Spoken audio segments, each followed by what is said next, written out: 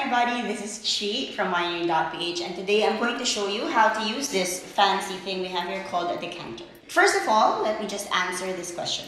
What exactly is decanting? Decanting is pouring your wine from its original bottle, like this one, into another vessel, like a decanter, letting it sit there and allowing it to enjoy some time in the decanter before we drink it. Typically, you use a decanter like this, which comes in many shapes and sizes. But if you don't have one at home, don't sweat it. You can use a regular pitcher or a carafe or sometimes even just a wine glass. Next question that I want to answer with regards to decanting your wine is when do I actually decant my wine? Why should I decant it and what does it do to my wine? One of the first reasons is you want your wine to interact with oxygen. When wine is aerated, flavors and aromas are enhanced, harsh tannins are actually softened, and flavors and aromas that have been muted or have remained dormant because your wine has been in the bottle for years will actually be brought out. Of course, the other reason is sometimes when wine is old, the cork becomes crumbly and some of it can float in your wine. And sometimes there are also sediments that settle in your wine bottle and you do not want that. So decanting actually allows you to separate the bits that you do not like to drink from the wine that you like to drink. How do you decant? First, open your bottle, okay? If it is an old bottle, I suggest that you allow it to stand vertically for at least 24 hours because with older bottles, there will be sediments and you don't want that sediments floating. You want it to settle at the base of the bottle.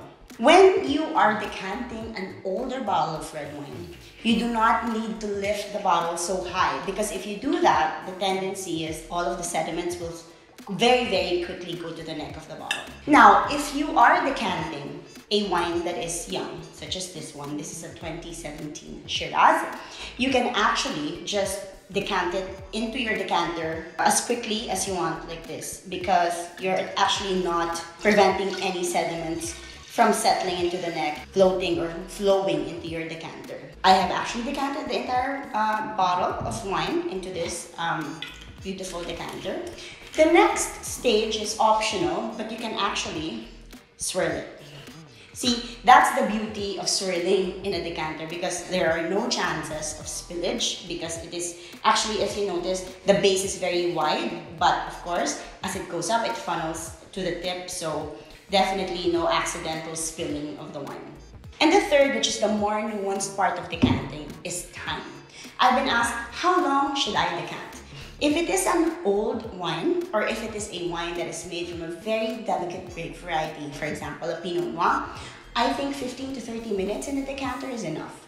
But if you are decanting a wine that is made from a very structured tannic wine, like Cabernet Sauvignon or Shiraz, or um, even some Merlots, and if it is still very, very young, there is no harm in allowing it to sit in the decanter from anywhere between 30 minutes to three hours. And actually, contrary to popular belief, uh, it is also possible to decant white wines and rosés, especially if there is a hint of volatile acidity. By the way, volatile acidity, like the smell of rotten egg or burnt rubber, you can actually get rid of those smells by allowing the wine to stay in the decanter for a period of time.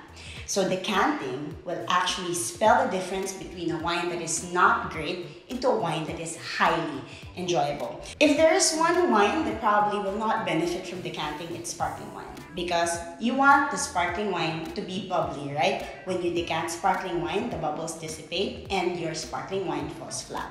And nobody really likes that. So if you want to decant, go ahead and do so. You can use a decanter like this one or a carafe or a pitcher.